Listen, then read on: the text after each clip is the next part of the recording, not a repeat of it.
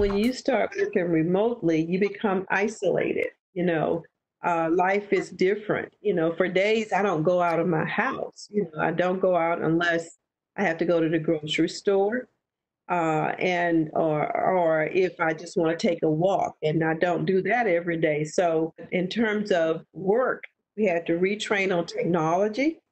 You know, we had to make sure everybody was connected technologically. We're not uh, beings that's made to live in a bubble or to be isolated from other.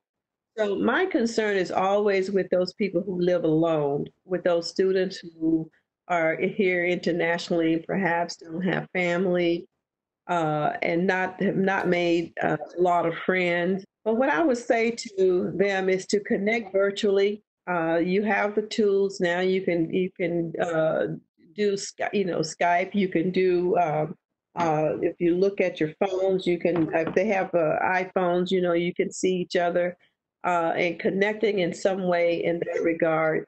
I noticed that online there are things that uh, virtual exercise, yoga, and with COVID, we're, we're having to, you know, make these shifts in the way we do things, but still continue with life. So that I'm really excited about. And this is what I say to students you know, you don't want to go stir crazy. You don't want to sit there and just become totally depressed. And I think as humans, we need to have that human interaction. So find ways to interact. And now, those of the students who are in class, what I'm doing, because I teach at EDUC 1300 class, I'm putting pairing them in groups. So they will need to interact on almost a daily basis. So that's that human connection.